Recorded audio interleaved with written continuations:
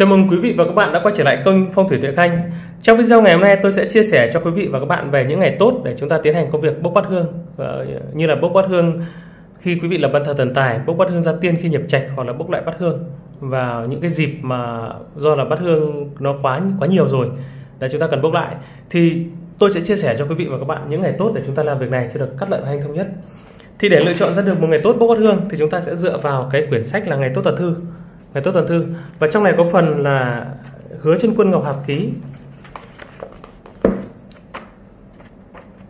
Quý vị sẽ tìm đến cái phần hứa trên quân ngọc hạp ký thì sẽ có những ngày tốt để quý vị thực hiện những công việc là tế lễ cũng như là cái việc uh, việc tế lễ cũng như là việc uh, chọn ra những ngày chúng ta tiến hành bốc bát hương cho được hanh thông thuận lợi.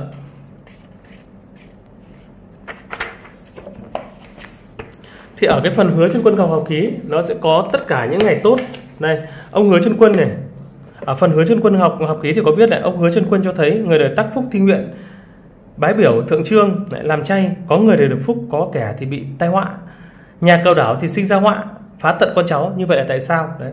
Vì thế mà ông hứa chân quân đã gì sát trong bản án thiên tào, thấy chỉ vì những kẻ tầm thường không biết chọn ngày trong cái 60 hoa giáp.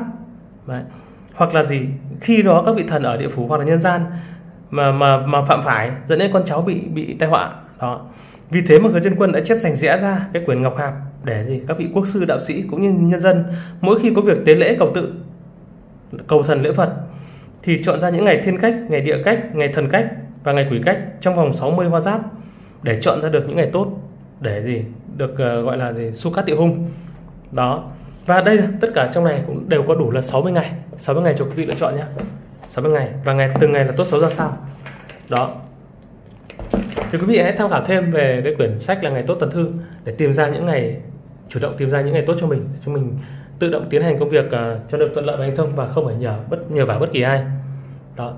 Và cái việc bốc hương là nó là một việc vô cùng quan trọng. Vì vì vậy mà quý vị cần phải hết sức lưu ý và hôm nay tôi sẽ chia sẻ cho quý vị và các bạn về cái ngày tốt để bốc quất hương trong tháng 11 âm lịch năm 2022 năm nhâm dần. Thì như quý vị đã biết, cái tháng 11 âm lịch nó khởi từ ngày 24 tháng 11 dương lịch. Đó. Và trong tháng 11 âm lịch thì ngày mùng 1 ngày mùng 1 nó là ngày Tân Tỵ.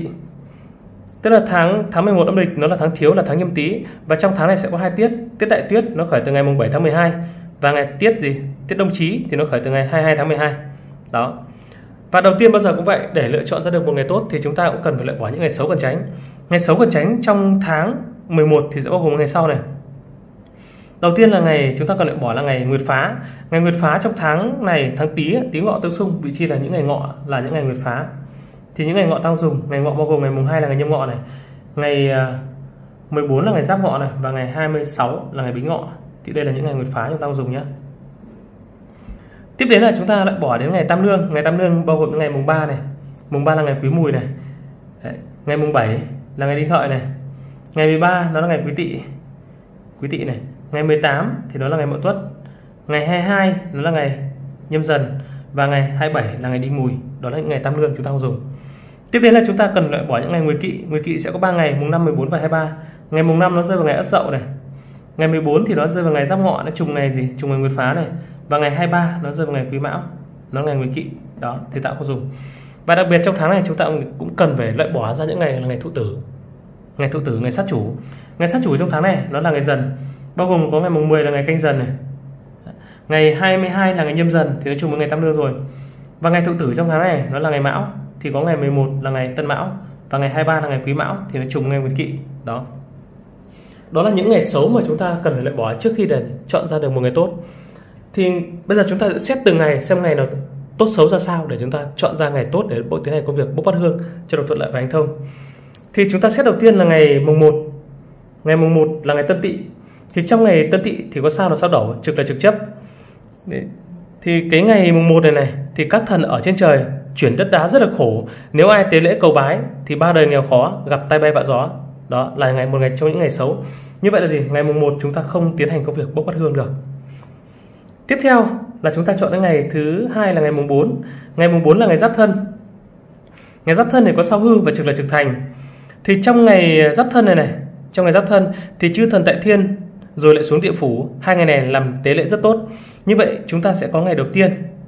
ngày đầu tiên ngày tốt đầu tiên đó là ngày giáp thân là ngày mùng 4 thì quý vị có thể ghi lại nhé ngày mùng 4 là ngày tốt đầu tiên này tiếp đến là gì ngày mùng 6 thông xét đó là ngày bính tuất ngày bính tuất thì là sao là sao thất và trực nó là trực hai trong ngày mùng 6 bính tuất thì chư thần tại thiên rồi lại xuống nhân gian địa phủ.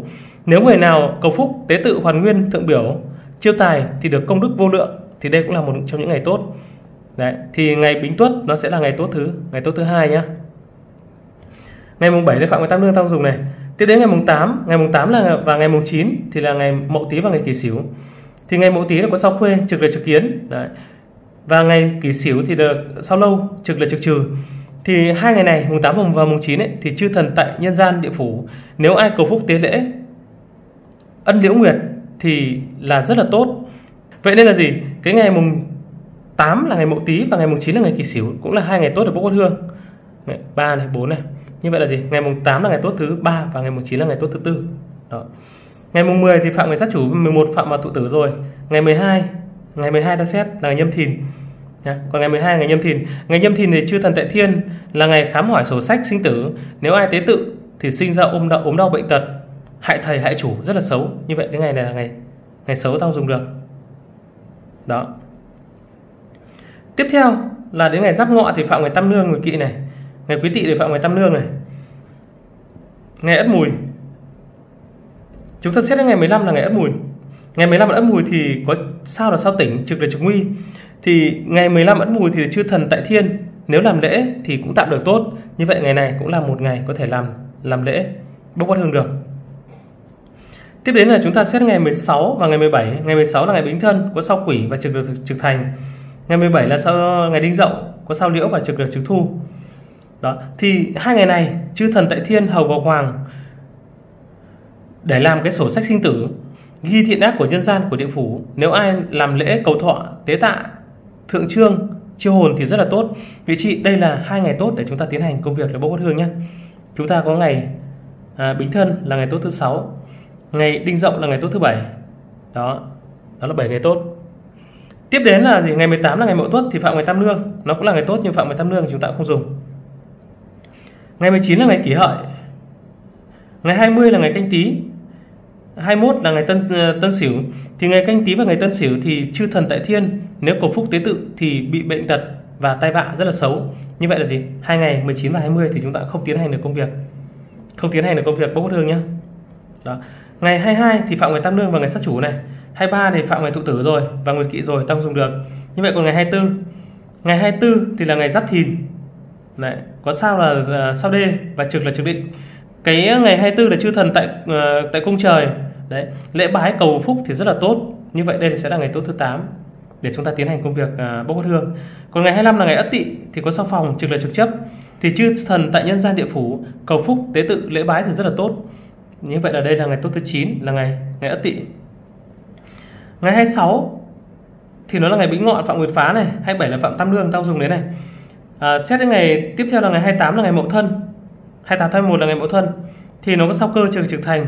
Trong ngày 28 âm lịch thì chư thần ở trên trời, không ở nhân gian hay địa phủ. Nếu là tế tệ, nếu người tế tự lễ bái thì bị sát sư tổn gia trưởng. Như vậy ngày này là ngày xấu, chúng ta không dùng được. Đó. ngày cuối cùng ta xét là ngày kỷ dậu, là ngày 29 ngày 29 có sao là sao đổ trực được trực thu. Thì trong cái ngày 29 này này, thì trên thượng giới có lệnh đại ân xá, nếu làm lễ bái tế tự, tiến điền, rất là tốt. Như vậy là gì? Ngày ngày ngày 29 là ngày kỷ dậu là ngày tốt thứ 10 để chúng ta tiến hành công việc bốc bát hương. Đó. Như vậy là gì? Trong cái tháng, trong cái tháng 11 âm lịch thì chúng ta tận 10 ngày tốt để chúng ta tiến hành công việc bốc bát hương. Vị chi quý vị có thể thoải mái lựa chọn và cũng sẽ chủ động chọn cho mình được những ngày tốt. Đây, quý vị có thể chụp lại cái bảng này và chọn cho mình những ngày tốt. Và quý vị đặc biệt lưu ý, cái việc bốc bát hương ấy, cái bát hương khi mà thờ cúng, nó có phải có linh khí, phải có cốt thì mới giữ được cái linh khí, lưu giữ được cái lời nguyện cầu của quý vị. Vậy nên là gì? Trong cái bát hương thì quý vị cũng cần phải có nạp cho cái bát hương của mình cái cốt thất bảo cốt thất bảo để làm gì? Để nó lưu giữ cái linh khí của bát hương, lưu giữ lời nguyện cầu và tránh những cái tạp khí, uế khí nó ảnh hưởng đến cái bát hương nhà mình. Đó. Cái thất bảo gồm bảy bảo vật của nhân gian, bao gồm là vàng, bạc, mã não, sa hô đỏ hồ phách, cũng như là cái phỉ thúy. Đấy, thì đây là một trong những cái cái vật phẩm để chúng ta tiến hành nạp cốt bát hương thì quý vị có thể liên hệ trực tiếp với số hotline 0989 34 9119 để được tư vấn kỹ hơn về quy trình bốc bát hương, à, quy trình bốc bát hương cũng như là quy, quy trình nạp cốt bát hương, nạp cốt tượng. Đó. Và quý vị cũng thể liên hệ trực tiếp với số này, số hotline này để chọn cho mình những ngày tốt để bốc tiến hành công việc bốc bát hương cho được thuận lợi và hành thông.